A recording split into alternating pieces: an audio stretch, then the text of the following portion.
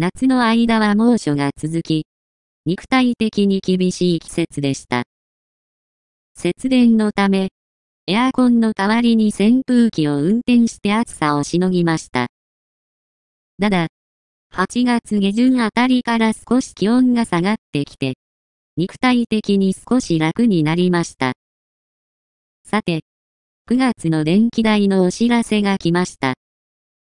使用日数32日間、使用量 56kWh で、1720円でした。ちなみに、昨年9月は、使用日数33日で、55kWh でしたので、あまり変化がありません。昨年も今年同様、ほとんどエアコンを運転しなかったと思います。節電は努力に比例するので、やった甲斐があります。ただ、肉体的にきつい時もあるので、本当に危険を感じたら、エアコンを運転するべきだとは思っています。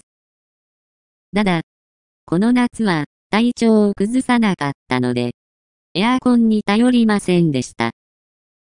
もうすぐ秋がやってきて、節電生活に向いた季節がやってきます。やっとほっとできる季節です。